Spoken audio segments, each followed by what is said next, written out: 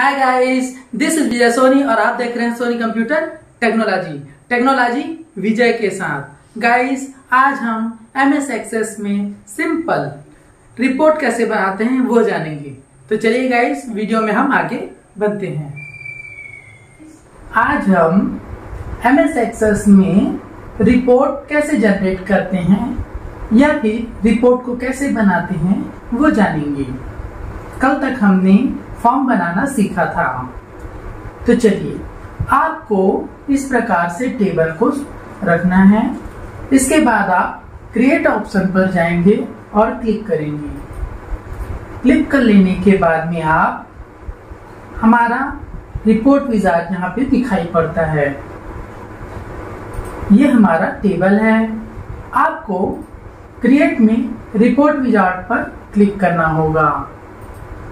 Click कर लेने के बाद में आपको एम एस एक्सेस इस प्रकार से एक टेबल रिपोर्ट जनरेट करके दे देता है। यहाँ पे आपको टेबल को और अच्छे से बनाने के लिए यहाँ पे आपको कुछ करेक्शन करने पड़ेंगे। आप इस प्रकार से इसे पतला कर लीजिए।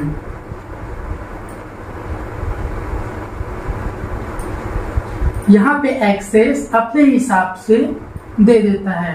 बाकी हमें बाद में इसे मैनेज करना पड़ता है।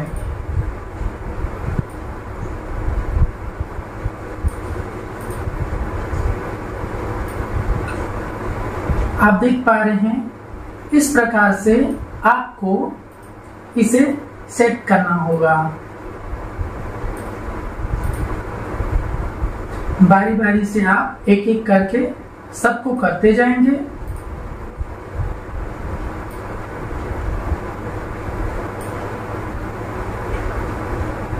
यहाँ पर से इसको साइड कर लीजिए।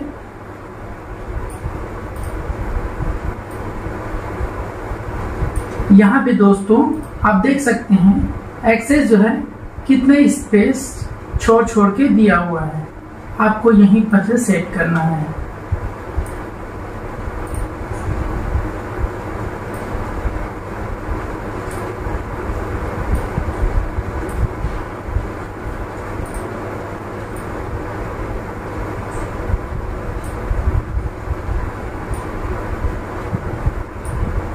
ये देखिए, इस प्रकार से आप रिपोर्ट को सेट कर सकते हैं।